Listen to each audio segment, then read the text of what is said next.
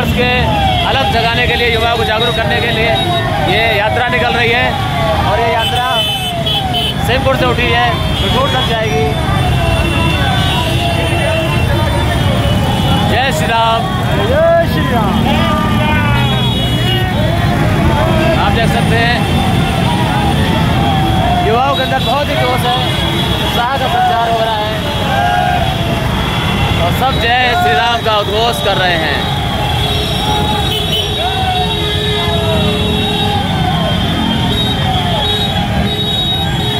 सभी भी हिंदू नववर्ष को मनाइए।